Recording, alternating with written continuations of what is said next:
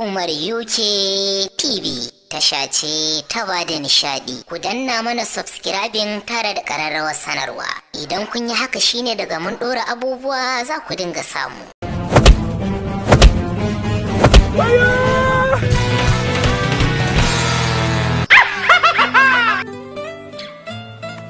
gobe masu wasan shirye-shiryen hausa za su zo garin nan za su fara wasa wasa wata kace ba ma liman a nan fa na zo na zanar da kai na baka wani abu. Ka ci kuɗi liman.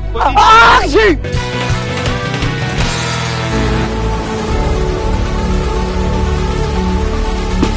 Daga yau ba ke ba shi. Alkur'ani babu ne ya bi kira Allah gafara can ɗaya iya indo. Hako indo.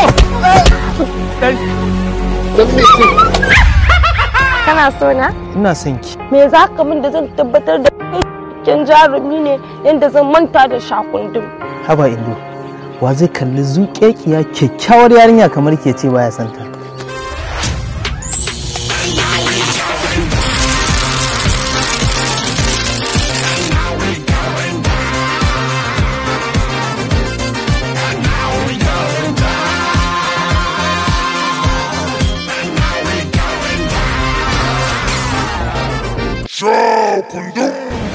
Daure mun shi daga isa muku ku jefa mun shi rijiyar nan. Jefa yi rijiyar can. Ka yi haƙuri. Wallahi yaron nan ba zai kuma. Ba shi ba ya ta. Shakundun ɗin ne ya ce yana son ki. Ni ba ya ce yana so na ba ni ce nake son yi. Gaskiya magana ta Allah yan wasa hausan nan ba sa ba ka santa me za ka faɗa? Na tsane ki ba na son ki. Me kuka zo yi nan a nan gun? Kana son ka. yo. Do wawinki juya mai.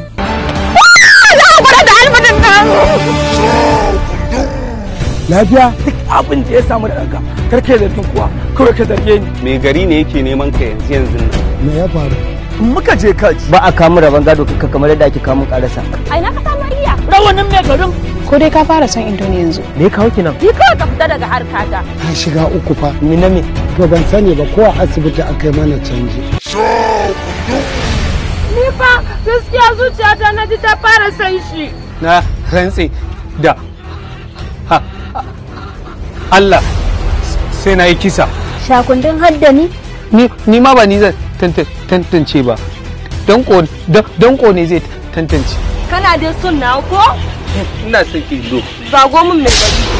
Me? Gari? Na amsha kunduf na? Kun nduma hawa uwarka. Me kuke so a yi mai?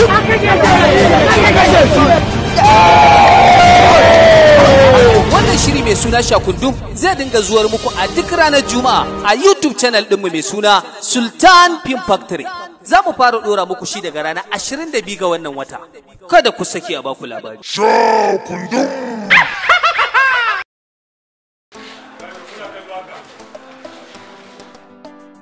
Alhaji mu ne maku maraba da zuwa. Mun gode. Kun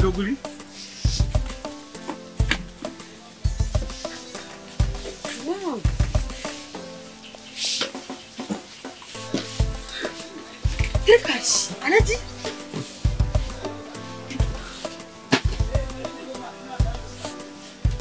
I'm so surprised. Wannan gurin a Najeriya take? Sai ka je a Dubai? Wannan magana faɗi ki ƙara. Yes combined business mu muka ƙware wajen share ma'amare hawayensu. Don mun ƙware wajen kawo ingantattun kayan kicin masu nagarta gami da kayan masarufi. Ina amare 'yan zamani. Alhaji, Hajiya, maza ku garzayo Yes Combined Business da ke Sahad Plaza da ke cikin kasuwar Wuse a Abuja, Najeriya. Don mun kware wajen kawo ingantattun kayan kicin masu kyau masu rahusa gami da kayan masarufi. Farashi daidai aljihunka.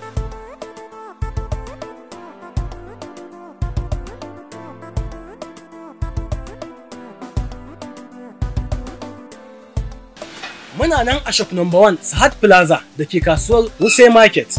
Domin neman ƙarin bayani za ku iya tuntuɓar mutum waɗannan lambobi kamar haka. Ko kuma sai kun zo Yes Combined Business Limited naku ne.